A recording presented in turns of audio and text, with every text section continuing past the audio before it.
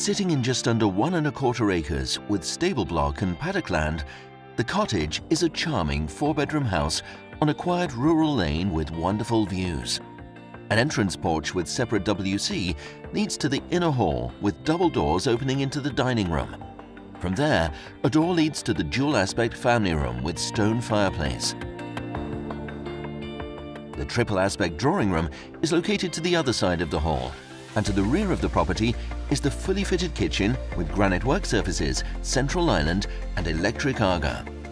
Off the kitchen is a rear hall, utility room and secondary WC, and the large breakfast room with deep bay window overlooking the gardens.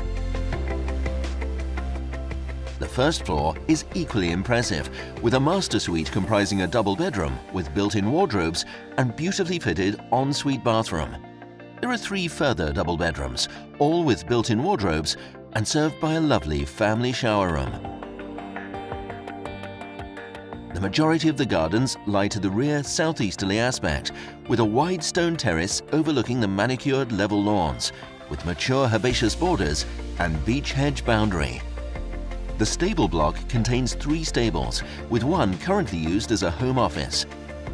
There's a timber wisteria-adorned arbor, second area of manicured lawn, a good-sized grass paddock, and a detached double garage and large turning and parking area.